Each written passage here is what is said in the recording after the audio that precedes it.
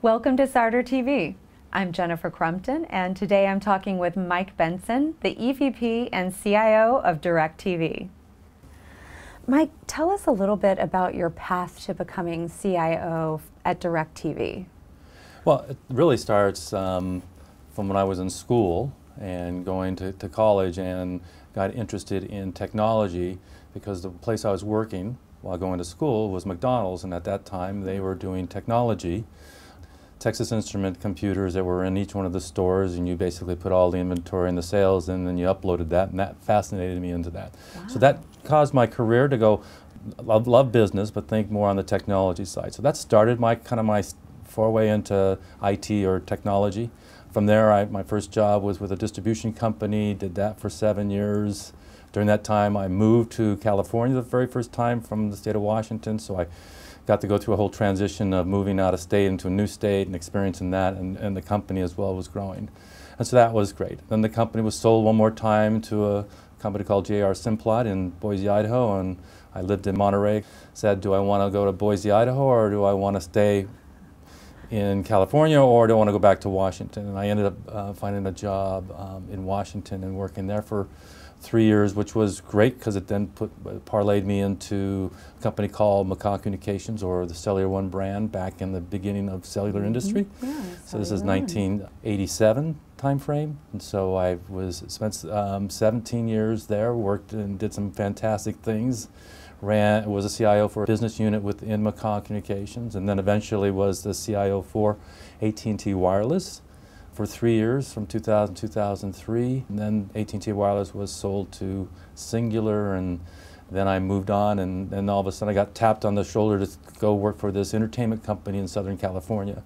So when you hear about entertainment company, you hear oh, that must be Disney, because who else is in Southern California? Well, there was DirecTV, so it's my first uh, ah. into television or in broadcast uh, distribution of pay TV, and um, that was in 05, and spent 11 and a half years working for that company and had a great time. Learned a lot, went through two different CEOs, and that worked out fantastic and um, was very successful. I think those are the fun years. Quite a few years in McCaw were fantastic, but the last 11 years have been probably the icing on the cake, as I would say, mm. for my career and stuff. And, and I've been able to do a lot of things there from developing my organization, putting in some unique capabilities, fearlessly focused on failure um, was one of the big things that we did there. Brought in Agile into the environment, so all our products uh, organization were all under Agile development. Also helped influence how we did product development within the company as a whole. A couple of my leaders moved out of my organization took key roles inside of the uh, business organization. So that was pretty, uh, you know, I'm pretty proud. I'm like a proud parent of, of that organization, so that was kind of nice. And who knew this would all start at McDonald's? Right, flipping hamburgers, yeah. Who would know that? That's amazing. Yeah. Well, what has been the secret to your success? Each time you, you moved up, you climbed up the ladder, you learned um, and you moved into higher positions. How did that work for you? How did you navigate that? So probably there were three things that, that um, I'm very passionate about business. So every time I get into a, an organization or company, I really want to understand how the business works mm. and then have the language of the business as opposed to a more technology, so I'm a technology background, but understanding the business and, and, weighing in on making how the, the direction of the business. So I've been able to do that in, in all the places that I've worked. So that's probably the big thing. Mm -hmm. The mm-hmm. other one I'm passionate about um, and have struggled in my past, but, uh, but uh, have overcome those struggles is really be a, uh, more of a people person, mm -hmm. reaching out to the organization, being collaborative with the organization, being transparent within the organization, leading, having fun is a big thing for me. That's another aspect. And the third one is I'm inquisitive.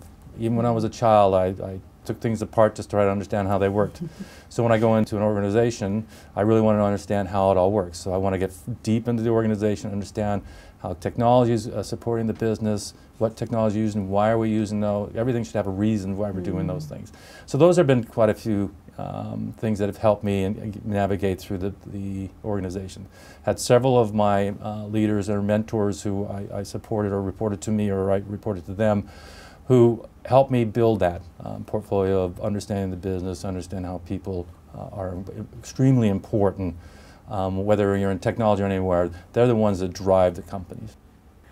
What do you do in your spare time, if you have any, to learn and grow? So a couple things. So on my spare time in my life, I've been able to. So I've I've directed choirs, um, from children choirs to adult choirs at church. Multi-talented. Yeah, that well, that's kind of like you're getting out of your comfort zone, right? When you go do something like that. And I realized, you know, I started with doing children's choirs, which was fascinating.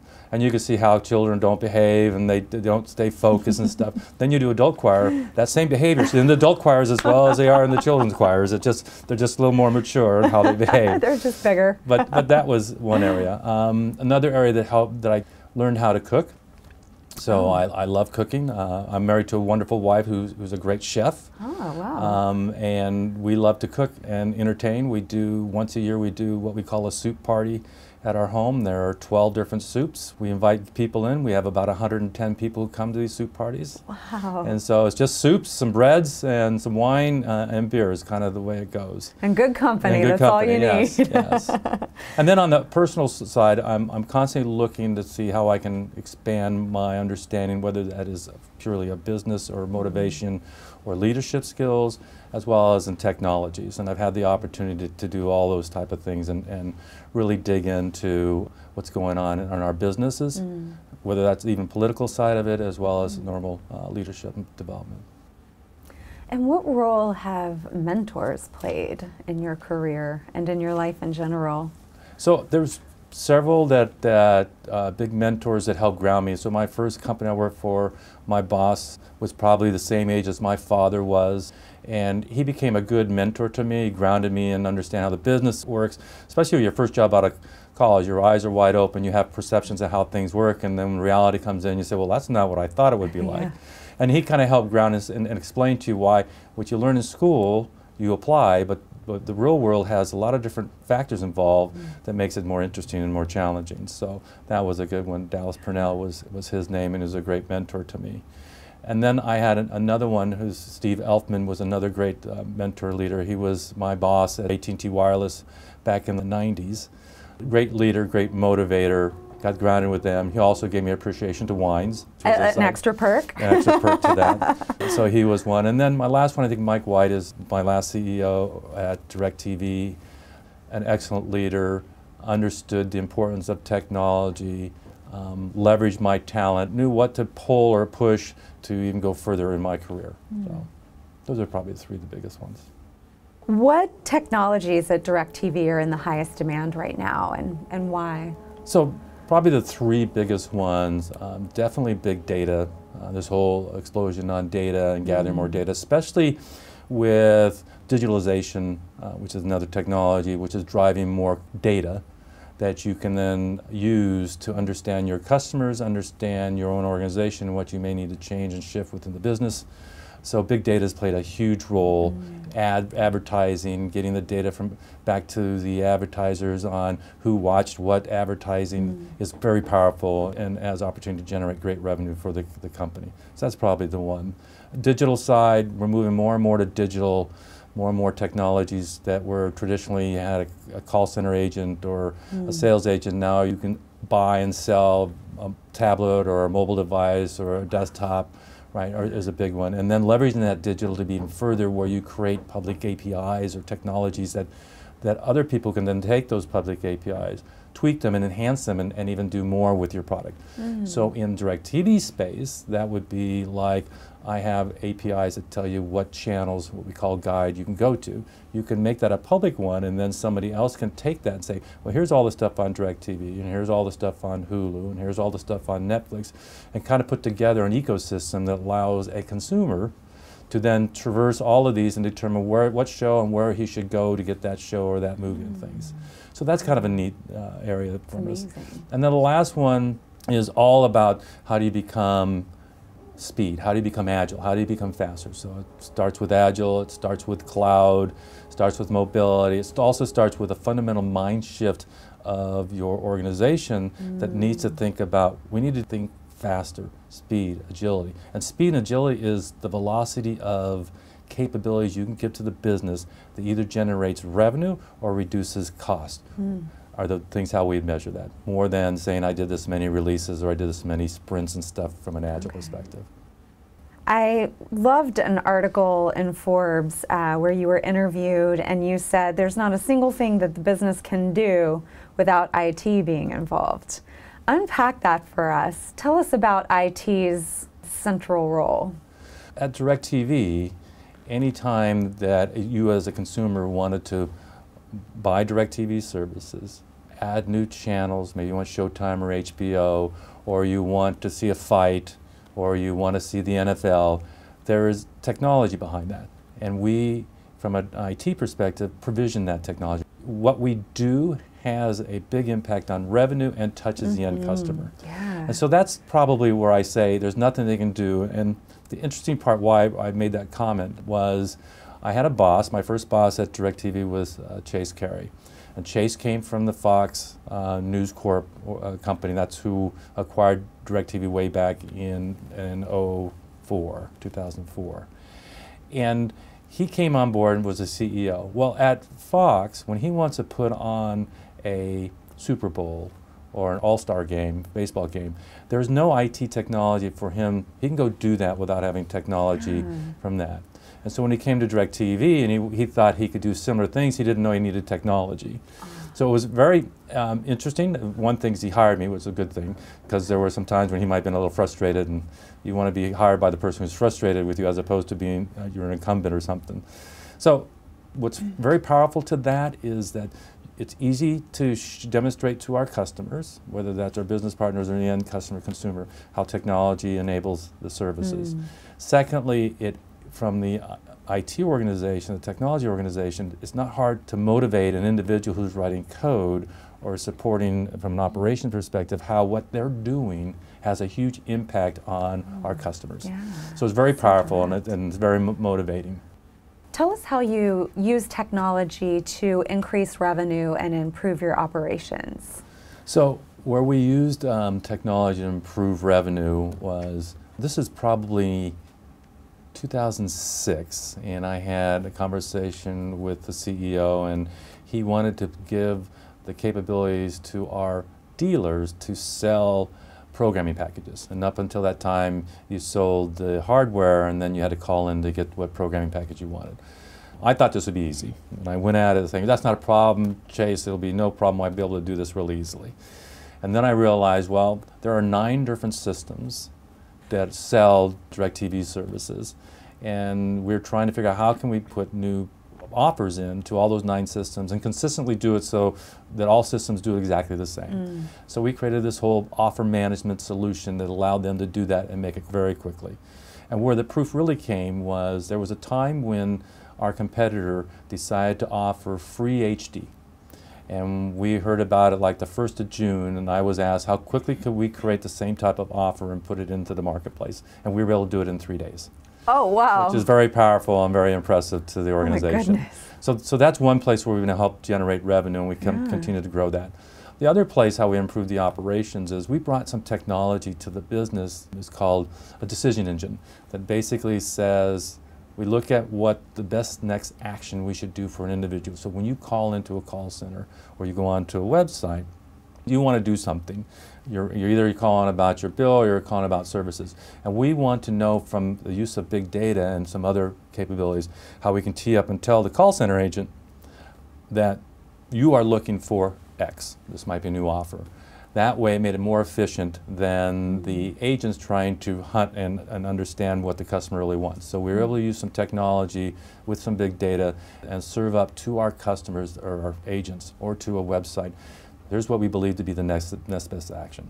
And it's, you know, it's about 80% accurate, it's not 100% accurate, but that's a place we've got more efficiency in the call centers. We've also been able to control our cost or our spend um, with our business partners. So that's another place we've used it.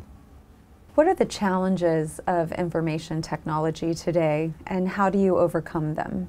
Probably the biggest challenge for technology in, in today's world, and, and this will evolve over time, is really about speed. It's really about delivering capabilities to the business mm. at the time they need them, or in some cases ahead of them. If we could just meet that every time some of our business partners wanted something, we could deliver it in, in a really acceptable, and I mean truly acceptable time frame that was their speed. So agile and speed is, speed and velocity are probably the biggest challenge within technology. The next one, and I think they're both, is the language we use. Mm. We have a tendency in technology to talk in terms that our business partners don't really understand. and that builds this kind of wall. So we need to break down that barrier. We need to put everything we do in terminology that the business understands. Mm. That when they're looking for something, we're late, we can explain to them why we might be late on a capability in their terms, not mm. in the mm. technology terms. And that's a challenging one. Yeah. And the third one is within technology, and it's growing up, there's this us versus them mentality. When mm. you bring together a whole bunch of technology people together into a forum, you know, lots of times you can say, well, our business partners won't want to do this and don't want to do that. We need to change that language. You, mm. you are part of that business, you're part of the company that you work in. We should stop blaming our business partners or our, our company and people on our challenges. Technology mm. has its mm. challenges, but we should be more transparent to that. We should be proactive complaining to each other why things don't work doesn't really help. Right? Yeah. We need to look for solutions to improve that delivery, improve that delivering capabilities, make it as seamless as possible. Mm. And technology companies need to make it easier for doing, implementing and adopting technology. You know, you get all these great advertising yeah. out there, whether that's HP or IBM or anybody come out how it's easy to do things. They're not easy. They're sometimes hard to do, and we have to make them more transparent and easy to use. Mm. Tell us about a time, and you've alluded to several, but is there a specific example you'd like to talk about when you identified a serious problem and technology was used as the solution? So yeah, probably the, the one we did, our direct sales organization was looking for, they were using 17 different systems to make a sale. Mm. And so we looked at identifying a technology to go do that. This whole journey we went on, and it was a journey, had its challenges. So we brought in a, a third party to come and help us. That eh, solution didn't work. After six months, we figured out this wasn't going to work. We then said, okay, we're going to try to do it ourselves. We spent another year. It didn't work. And the third one finally worked. And what was the difference between all three of those? One, we let the vendor do, we thought we'll hand it off to the vendor and they'll do it. And we didn't have a lot of involvement. The second one, we didn't understand our business partners well enough and understand mm. what they were trying to do, and mm. that's why that one failed. The third one, why it was successful, is because we sat down with the end individual who's going to use this capability to understand how they do what they do today. Because before we were trying to go through these layers of organizations and understanding it. Mm. So we identified a solution, we called it our direct sales solution, that allowed our direct sales organization to get rid of the 13 applications and do it almost all of it in one application seamlessly, reduce handle time, improve the call experience, put some workflows in it so the scripting was automatic there as well. So that's probably one of the biggest ones. But it took us three times to do that. And from that, we also learned that it's okay to fail as long as you fail quickly, fail forward, fail fast, and, and don't be afraid of failure. Most people are afraid of failure. Yeah. How important is mobility for DirecTV's success? Well, extremely important. As you can see, we just got acquired by AT&T.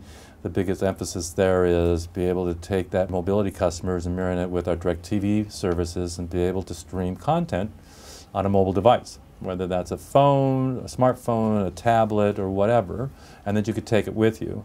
And they could see that we had that type of technology and capability. That's why they acquired DirecTV. And you can see that today if you subscribe to NFL Sunday Ticket and you're watching a football game and then let's say your significant other says, can you go to the grocery store or go somewhere and do something, you can watch the games on your mobile device.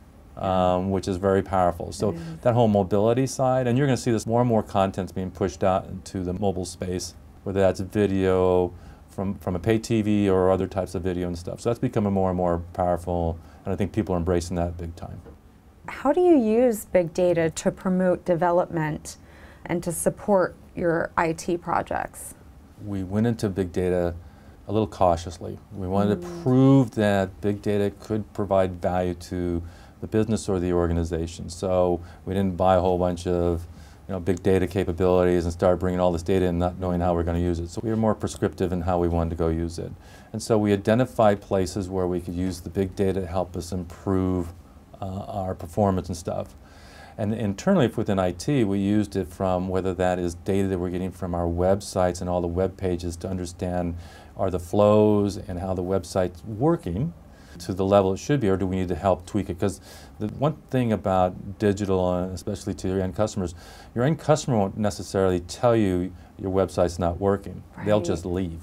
So you really got to understand why. Yeah. And so big data's helped us do that internally, as identify that. And there's some capabilities out there that allow you to look at going through all the tree structures within a website and making sure they're working correctly. And if somebody mm-hmm. abandons your shopping cart, why they abandon the shopping cart. So you get more analysis. Mm. So you can hmm. provide to this sales organization that's managing that as well as your own internally to see if do I have any flaws in my technology.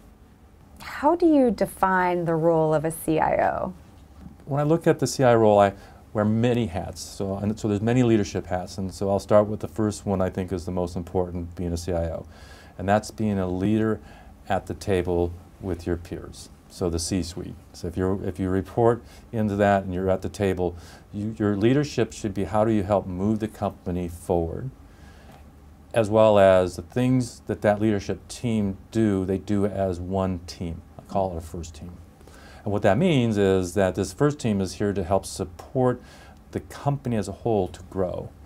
That may mean that within my functional area that I support for that leadership team, I may have to do things that um, are more taxing or not the best thing to do. But you're doing that for the first team because you're trying to move the whole organization mm-hmm. along. So this whole first team concept then drives down to my direct reports mm-hmm. report to me, and one may be in development, one may be in infrastructure, maybe in strategy and stuff that first team all have to work as one and leave their functional hats aside when they talk about our challenges within technology, the same thing as the challenges of the business. So there's a leadership role that's really about leading the company or leading an organization. So that's one level. The next level is now, I'm the now I am the CIO and the leader at the technology level. So now I have to lead and set a direction to the organization that helps supports the business strategy and drive that goals and that strategy. And so I set the direction, set the strategy, and make sure I get alignment and buy-in on that. And, and I don't do it all by myself. I got the leadership to help develop that and drive that. So that's a different type of leadership skill, and it's also pushing it down within the mm. organization.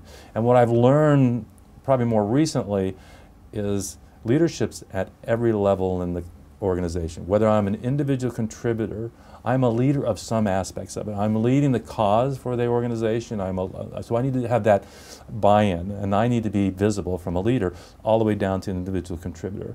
And being visible also means I may call you up and you may have done one wonderful thing. I'll just call you up and say, I want to thank you for what you've done.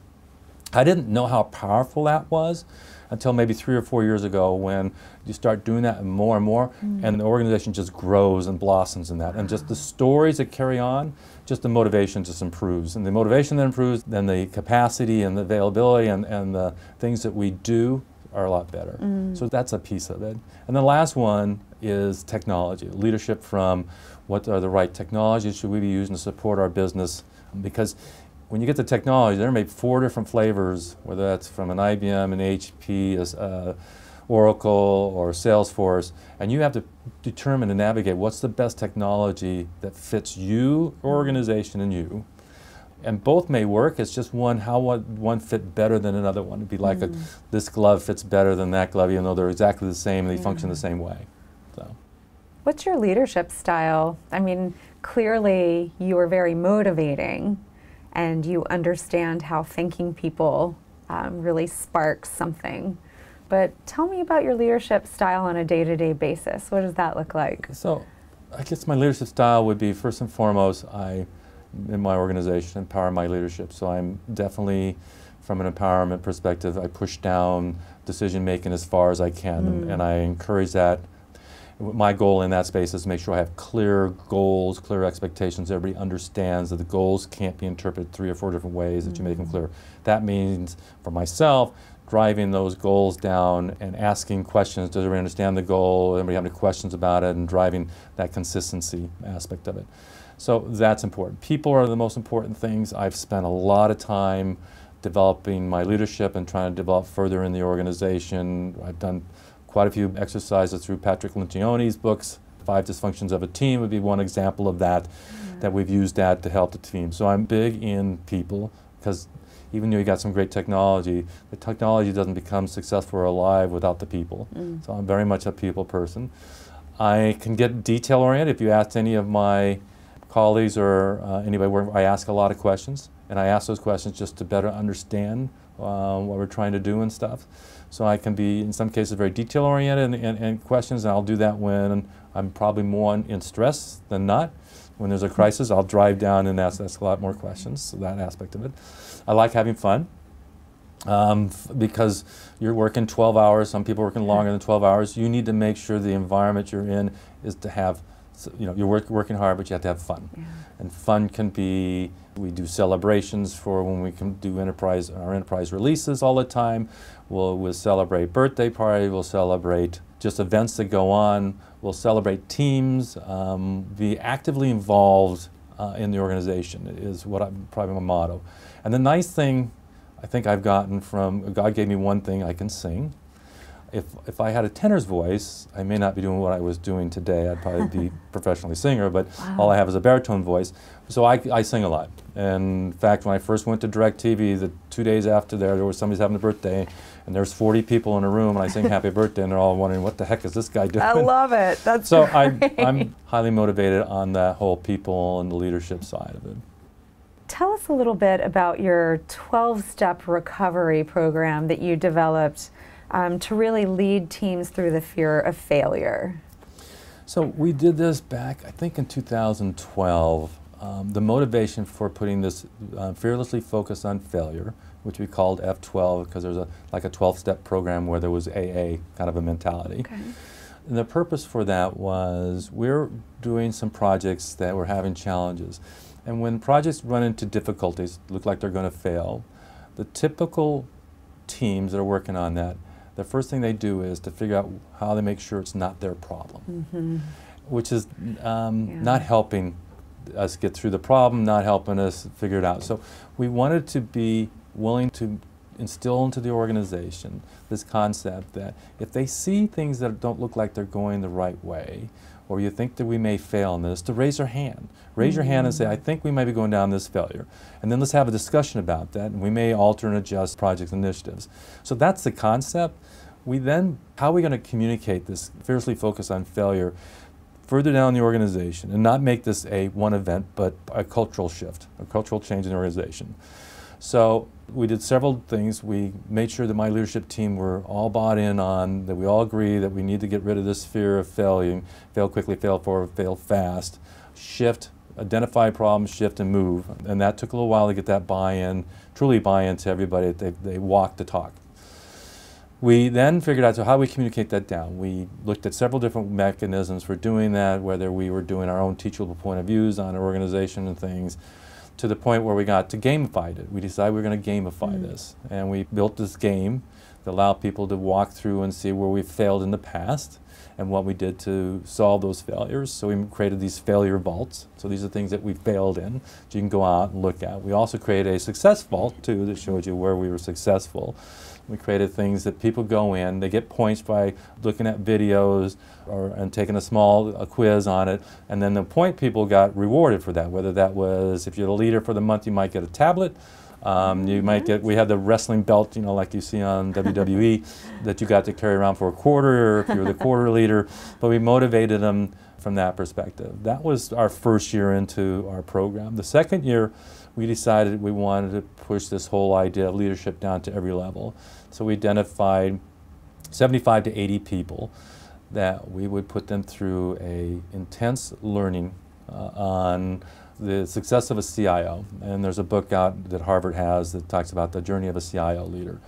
And we decided we were going to do this teaching in a case study format. So I took all my leaders and myself, and we were going to be the lead, the professors in a case study. So all we had to learn how to do case studies, which made us all a little nervous. And here you're outside your comfort zone again, so you're trying to learn something brand new. And then we identified the 75 people, and we each all had seven people. I think how we did this. Seven people that we then mentored once uh, and brought into a case study class once every other month. That's how we did it. And then they had to do a report out.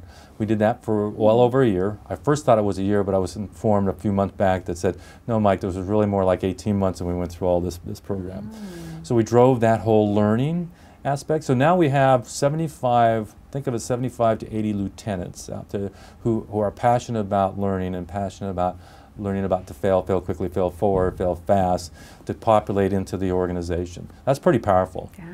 So this whole program, and I truly believe that you constantly need to look at how you take your organization and make them a learning organization. You need to continue to grow and expand and develop, especially in two areas. One in technology, because technology is constantly changing and mm -hmm. shifting, and you need to have that. Well, so is a business. So if you yeah. go back and look at DirecTV, and, and, and if we sit here in, in 2006, 2007, we weren't thinking about mobility, we weren't right. thinking about digital. Yeah. All of a sudden, they come out with, a, with smartphones, and all of a sudden, you got this mobility. So you've got to shift that, that side of it too. And then the business changes, so you have to understand the business. You constantly have to learn and shift and adjust. Mm. I'm a big proponent for, I may have a leadership style or a way of going about doing things. And over my career, that has to shift because mm. what I knew in 1975 is totally different than what I know in 1996, and it's totally different than in 2016. Mm. And therefore, you need to, you, the same way of doing things, you have to shift and you have to learn new capabilities, new skill sets, where that's learning new skill sets that you're bringing millennials in. And the way millennials work is differently than what a baby boomer, who I am, mm. would work. And so you have to adopt and shift and, and, do those things. This whole F12 is underlining a learning organization. That's what we're driving for. How do you encourage innovation in your team? Innovation is interesting because people always look at innovation being here's the next big thing that you did. Look at what yeah. it was very mm-hmm. innovative and stuff. And there are some of those, right? But they're more rare than the little ones. The little ones are just incremental ways of improving the business eh, or improving your processes or improving technology or improving an application that are innovative, some new idea of doing things. So we, we drive that through the organization as a concept that says everyone so it's not one organization does innovation, it's everyone participates in innovation. So we've done lots of different ways to motivate that. First one we did because I work for a paid TV company. It's not hard for me to get into a studio and do a Shark Tank and do a Shark ah. Tank on seven innovative ideas that our business that our our employees wearing. Okay. So we did that, and they brought up seven of them, and we then voted on one just like the same thing with a Shark Tank, and then we gave them funding. It wasn't a lot of, you know, like $100,000 to go figure out what they could go do with that. That's a way of motivating. That's very it, it works real well. way. Yeah, and it works real well because innovation. we have the technology to go do that. I have a studio, I have everything that's capable of doing those type of things. But that's one area that we drive in. We also then look at what new learnings do we need to have. So design thinking. So we went to Stanford, we took several people and went to Stanford to learn about design thinking, and then we evangelized des design thinking within the organization. Mm. So that helps foster that. Yeah. And, and it has to be visible. You have to be talking about how we can think about innovating the company and innovating new things. Mm. Google does a great job of that, right? One, Google's successful just based on their search engine, and that search engine fuels all the other things that they've failed lots of times on, but they continue to look at innovating and they'll strike new deals and some things they won't. But that mentality and that drive has to start from the top down and push in the organization. Mm. And I'm fortunate enough to work in the size of organization that I don't need to go ask for permission from my boss to go look at these things. I have mm. a fairly large enough budget. Yeah. I know how to manage that budget. I know how I can start using some of those expenses and I can get buy-in in the organization. We need to drive that. We can go do that. So, nice. But innovation is extremely important. How do you find the right people for your IT team? That's a very difficult one. Um, hiring is a challenge. I think in some cases you're betting on somebody you bring in and think, oh, this person's bright yeah. and works well, and when they get in the organization, the organization they don't fit. Mm. So you got to look at lots of aspects of that, depending on the level that you're hiring for. If you're hiring for a leader, the team dynamics are probably one of the most important things. How mm. well does this person fit into your organization? They don't have to all look alike, but they have to complement and they also have to work well together. So I've been successful in doing some of those and some of them I've had, I brought somebody in and, and I was really high on this person. The person was smart, energetic and brought a lot of value to us, but didn't gel well enough mm. in the mm. organization. Right. So that's a challenge. Skill sets, do they have the right skill sets? An example I will use is project management. I could be a project manager managing a small remodel of a house versus I've project managed $50 million enterprise. They're both called project managers, but the person that's doing the $50 million has more skills and breadth and understanding than the one that's just doing a, a small remodel of a house, right, and has a handful of people. So project management is very challenging to find the Mm. right person. It has to do with a understanding the discipline. You have to have a good relationship and how to build relationships and collaborate and be transparent are aspects of it, as well as just the fundamental, you know, how you run a project and, and work well. So they're challenges. The skills are, Mm. they're really hard to find and get good talent. And so I, my goal is, can I develop new people and then feed the organization with younger people and can we constantly do that? Interns is a perfect example of that. We bring in a lot of interns. We'll bring about 30 to 50 interns in a year. We will decide, here are five that I want to keep, and so we try to see if we can keep them through the whole year. Some we can't, some can't because they go to school on the East Coast and we're on the West Coast. But we try to look at feeding our pipeline with interns because interns are a good place. Mm. Get them started with, and get them buy-in on the culture and, the and how we run our organization and our company and stuff is one area that, uh, that I'm very big on from an intern perspective. And we're actively working the colleges and the communities and stuff. Uh, but the skills are hard, and, and you can see that today. It's hard to find technology people. That's why you got a lot going out, your offshore stuff to Mhm. places like India or China, Vietnam, other areas, because the skills and the education programs aren't as are not producing that many people in the technology space, which they should be doing. Are young people actually being educated well about the skills that you need for IT? Um, are we producing people with the right skills from our education system and encouraging people to pursue this type of work? I could have two answers to that. One, I would say, I think we're educating them on the technologies and new technologies. I think they're learning a lot. I mean, you know, I can go take my 10-year-old grandson who knows how to use my mm-hmm. iPhone and iPad, and he knew it when he was six and knew, knew my password. So he's more adapt to understanding and grabbing a whole new technology and going with that. And so I think that background and stuff is a foundation for people learning technology and want to get in that space. And so I think we are. The part that we may not really appreciate and understand is is business companies willing to learn from the millennials on approach of technology. I think I do see that and worry about those aspects of it. Time will tell, I think, because I have a belief that eventually, and I don't know when this is, this is my lifetime or next, is that technology will, will be just a part of the fabric of a business and you won't be able to necessarily see it. Yeah. It'll just be, it'll be there, right? It'll be just part of that fabric.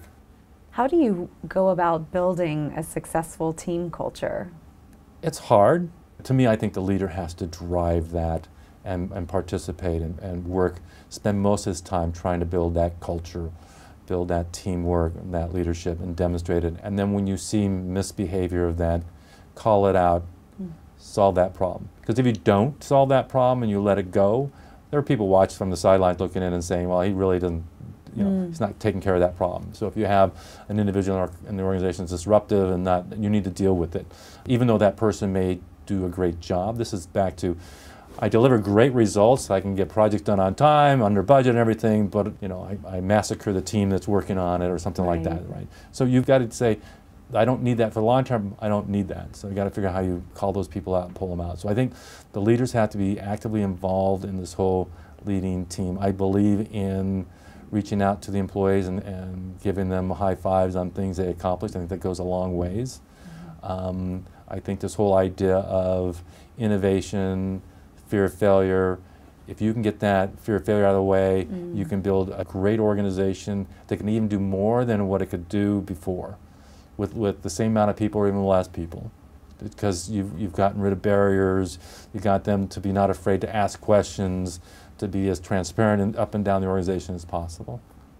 Why do you think it's important for the CIO and the CEO to have a really good relationship? And how do they, those two roles work together to create success? the, having that relationship with the CEO to me is, is extremely important because I have the ability to help influence how we could even leverage more technology into the business. Mm-hmm. I also like to have a great relationship with the CEO to really understand because he can see things that might be flaws of mine and, and, and having enough courage because it is courage to say, okay, you know, okay, Mike, what do you think is m- my challenges, and, and, and being open to hearing those and adjusting. So that that's important to me, because that relationship I have with him, there are seven other people that I support that are my peers, who may have a little different view, and how they're going to vent those views or communicate those views is back to the CEO, not Mm. necessarily to me. Oh, right. Because most people don't like conflict, right? Conflict's not the best thing, so that's important to me. I think the other thing that's important to me, again, it's back to we work a lot of hours. If you can create this into a friendship, if you can create this into whether it's just you know I trust a trusting friendship, trusting person, it's extremely important and very valuable to us. And I think I have that with uh, Mike White, who was was the uh, CEO of DirecTV, and so that's been valuable to me. It also, it's back to technology is hard. Remember when I talked at the Mm. beginning, it's hard and how we put in, in the right terms, and sometimes it's even when you've done that, I still don't get it.